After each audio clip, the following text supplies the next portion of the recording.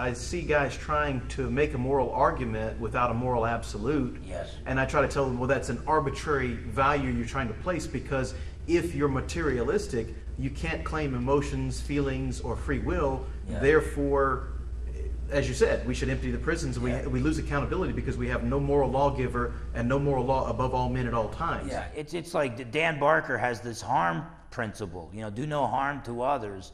But he says he, he acknowledges he, says there's no God, so there's no absolute moral lawgiver. So there's no absolute moral laws. I asked Dan Barker, do you believe rape and incest are wrong for all people at all times in all places? And he said no.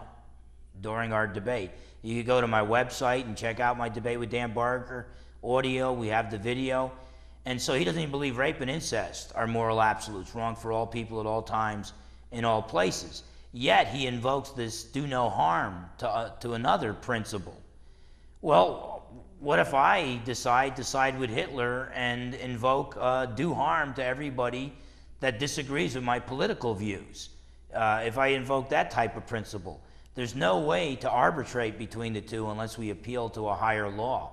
And uh, so I would argue that uh, the, there is a moral law. We all have moral experience. Atheists have moral experience, they make moral judgments. And if, if, if the moral law, if the ultimate arbiter in what is right and what is wrong is the individual, then one individual cannot condemn the actions of another individual, like Adolf Hitler, as wrong. But even atheists want to condemn Adolf Hitler's actions. So then they might say, well, maybe it's each society decides what is right and what is wrong. Well, then it'd be wrong to be a, a moral reformer of a society, a Martin Luther King, who says something's wrong with my society, I want to make it better, because society would be the final arbiter. Also, one society like America could not condemn the actions of another society like Nazi Germany as being wrong. And so, uh, so again, even atheists want to appeal to something higher. Some would go to world consensus. I don't even know if, if we can uh, figure out what the world consensus is. I'm always being told what the world thinks. But whatever the case, even atheists who, uh, who are more, usually moral relativists um, don't often don't like the moral consensus of the world, the world's world consensus. They try to change it. They try to build the, the world. A lot of atheists will say the world is better today than it was in the past, and we want to change it and reform it and make the world consensus even better in the future. So not only are they appealing to a moral law above all individuals, above all societies, and above any world consensus, but this moral standard they're appealing to doesn't apparently doesn't change with time, because they can condemn the actions of the past like slavery, and condemn the actions of the present and try to work for a better future. So they're appealing to a moral lawgiver above all individuals, all societies, any world consensus, and it's a moral lawgiver that doesn't change with time, an eternal moral lawgiver. Now, on this point, I feel in, in good company because I seem to see an emerging internal contradiction then in the atheistic worldview when it comes to morality. Uh, but I always cite Nietzsche. Now, I haven't read all of his works. I've had uh, Thus, Thus Spoke Zarathustra in my library for years, and I admittedly haven't finished it.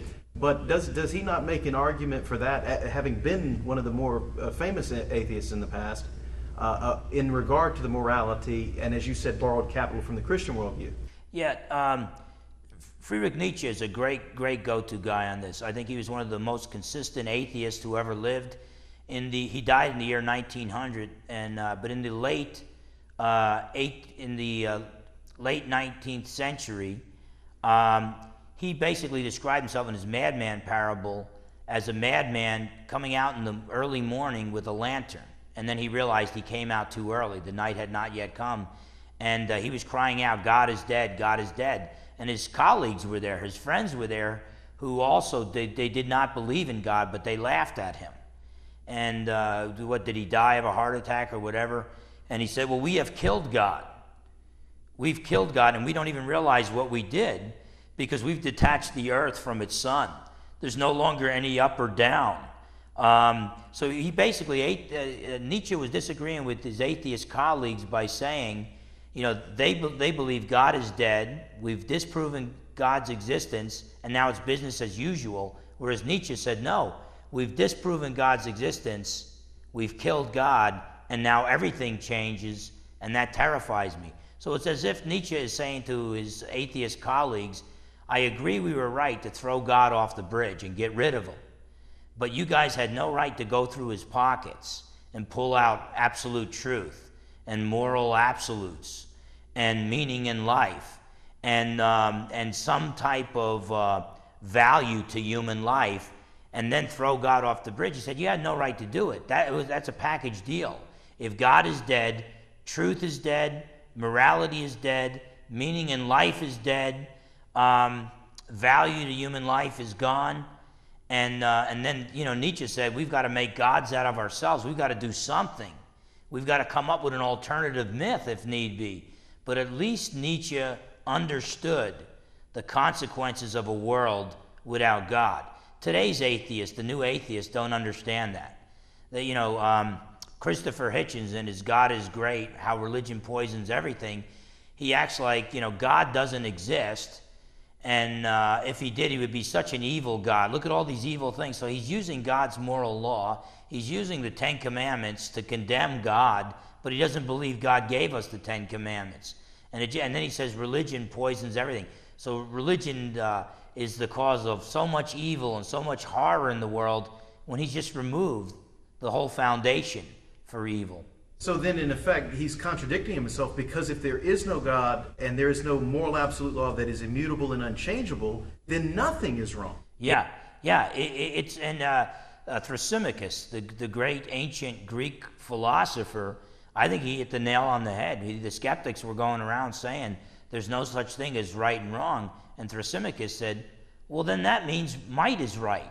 And it, it had a lot to do with Nietzsche and his his supermen, the overmen um, and their will to power.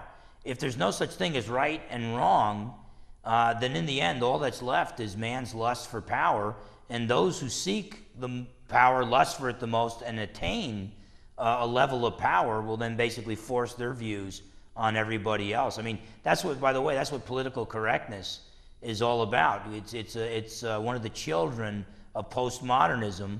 It's a denial of absolute truth, a denial of absolute morality, and since nothing is true, reason and intellectual dialogue go out the window. All you have are stories. And if we can gain enough power by forcing our views on others, then we can take our quote unquote truth and force it down everybody else's throat, when in reality, these postmodernists don't really believe in truth. Well, that, that brings up another quick uh, uh, note